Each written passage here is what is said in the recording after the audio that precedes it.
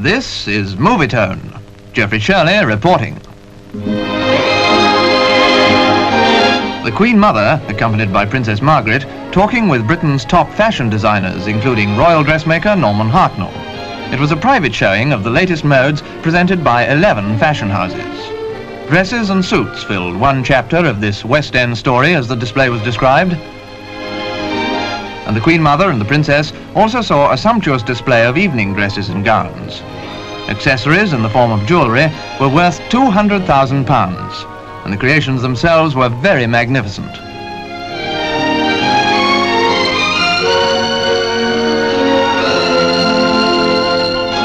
Afterwards, the mannequins, who'd shown nearly a hundred models altogether, were presented. A big thrill for them at the end of a parade that had lasted over an hour.